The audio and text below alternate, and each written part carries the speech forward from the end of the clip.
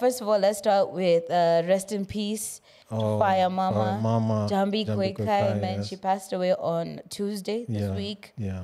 um, after like a 19 year long battle with endometriosis. Yeah. And that is a disease that usually affects women where the lining of the uterus grows in other parts of the body. Hmm. So, you know, every month, you know, when you get your period, it's the uterus falling apart because you didn't make a baby, right? Hmm. So instead of um, the that lining of the uterus coming out of your body, it grows somewhere else. Hmm. Like it can grow on your heart, the kidneys, liver. So for Jahmby, it had spread to her lungs Hmm. And her lungs used to collapse like every month. That's why she like was in and out the country, always Okay. like seeking medication and stuff yeah. and treatment. And I think by the time she was passing away, she had made a post that said like it had spread to her heart, Really? her teeth, yeah, her liver. So like she was in very critical condition, and she Oh, before um, Ruto went with the guys to Tyler Perry's studio, she actually asked him, "Yo, uh, Atlanta, Georgia has like one of the best facilities for women who are suffering with endometriosis. Could you please, you know, make a visit so that you know women who are battling this, uh, who don't have the means, the funding, uh, can get treatment." Yeah. but um, I don't know. I don't think that happened. I really felt like, you know, the system failed her. We Yeah. failed her. Um, there should be better healthcare. She shouldn't have had to, you know, go through all that pain and suffering. Yeah. Um, and also like get her finances depleted, Mm. um, battling this disease. May she rest in peace. Condolences to all the friends, Oh, yeah. family, to all the fans as well. The reggae Yeah. community, this has hit hard. Yeah. I, I met her once in 2021 Hmm. when we were doing uh, the media tour, the media launch actually for the Hip Hop Awards of that year. Hmm. And um, I asked her to do a drop for me. I think she'd just come from from recovery or from treatment. Hmm. So she was like looking frail, but she was always like full of energy and fire. Yeah. Yeah. So I'm like, I'm telling her how I'd listen to her on radio from like, you know, you know when we're talking about being reggae heads, Yeah. when Metro FM was playing like 100% reggae, that Yeah, was my that was- shit. yeah.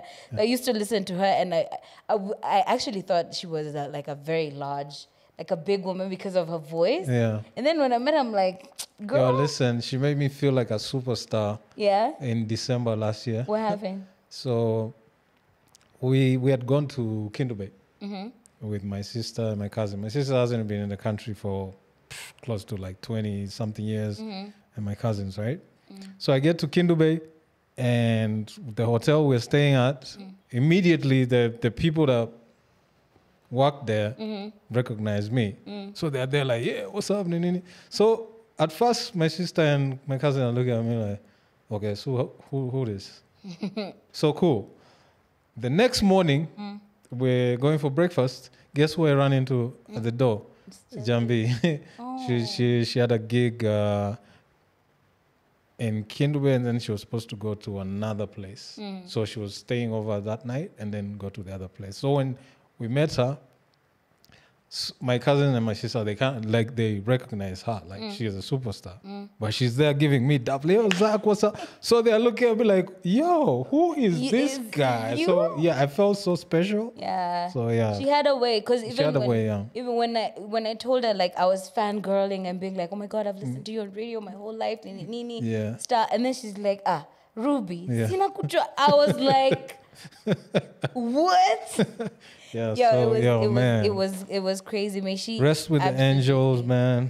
It's yeah, uh, she's fought a good fight. She's Yeah. really like advocated for uh, like b- conversations around period health, menstrual hygiene, Mm. um, endometriosis as well. yeah. And you know, I think that shouldn't have to die with her. We definitely need to speak more about it, and I think other people who are also battling the disease should also talk about it more, yeah. so that people, you know, get get. Yeah, because I think I've seen a couple of like two, three other people Yeah. who suffer from the same. yeah. Yeah. so, And and I saw someone who was saying like treating it is very expensive yeah. because NHIF only works for government um, officials like civil servants. Yeah.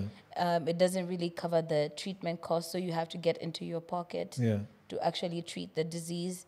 And you know, it's sad. That that's a celebrity death the, Yeah. that definitely and definitely hit. yeah, She- may she rest in yeah, peace. Rest in peace.